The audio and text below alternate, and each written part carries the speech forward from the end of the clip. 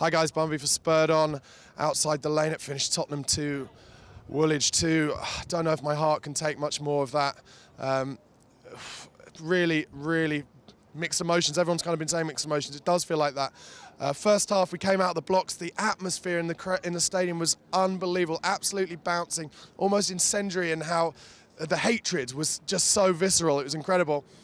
But we came out of the blocks well, put them under pressure, making Arsenal play it long, not in uh, getting their natural game. They did look lacking confidence, and then they scored kind of out of nothing, a little scrappy uh, melee in midfield, and it broke to Welbeck, who I think then put the fullback in. Good finish from Aaron Ramsey, you got to say that. And when when they went 1 0 up, suddenly the confidence was flowing through them, and that was the Arsenal that you kind of expect to see. For the kind of 10 minutes between going 1 0 up and half time, they looked good, and we looked a little bit devoid of ideas. Second half came out of the traps really well. Uh, uh, got the man, they got the man sent off, and suddenly we just scored two from nowhere. The first goal, great, but Harry Kane's second goal was unlike any moment I've ever had, maybe in life, but certainly at Spurs. Unbelievable finish. For any of you talking about Harry Kane as not the real deal, that shows it. In the biggest game of the season, he pulls out a finish like that, wearing a mask, with a broken nose. People saying, can he score with the mask? He hasn't scored for a few games in open play, all that kind of stuff. What a player he is. Absolutely unbelievable. But then turned into a different game after that. People have been talking about it in the fancams. Seemed like our game management of the situation with them down to 10 men didn't really work out so well. They brought on Giroud, they played a bit more attacking.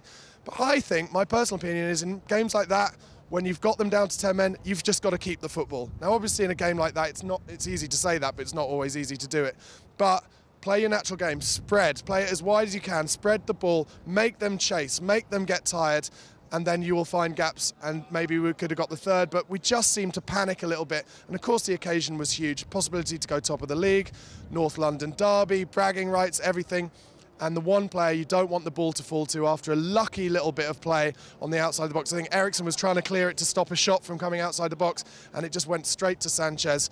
One person you don't want it to fall to. I haven't seen the replay. People saying maybe Hugo could have done better, but I wouldn't say a bad word about Hugo. He's saved so many points for us this season, so I'm not going to say a bad word about that. In the end, two all feels a bit disappointing, but also thank God we didn't lose that. You know, thank God we didn't lose that from that position down to, with them down to 10 men. We'd never have heard the end of it. So we go two points behind Leicester. Leicester playing Watford in the 5.30 game. I'm hopeful if Watford don't try and play too attacking, play defensive nice and deep, don't let, let Leicester hit them on the counter attack, they can get a result there. Next two games, Aston Villa away, Bournemouth at home, eminently winnable games in my view. If we get six points out of those before we then go to Liverpool away, then I think people will be saying it's back on track. To me, it's still vitally important. Top four, top four, top four. That's where our head should be. Um, we don't want to let your Man Uniteds and your West Ham start catching up on us for the top four. I know we're ahead of Arsenal, we're ahead of City, so we're not the ones most in danger of that. But, you know, after these two games where we wanted two wins in the London derbies, we only got one point. We've just got to get back on track in that next game. This week, Dortmund away will be going. It's going to be an amazing time. Pressure's off a little bit. Obviously, we want to get through in the Europa League, but what a stadium to go to. What a place. Really looking forward to it. Let's get back behind the boys. The atmosphere there was unbelievable. So much belief and passion in this in these supporters at the moment. And the boys did play really well. They played their hearts out.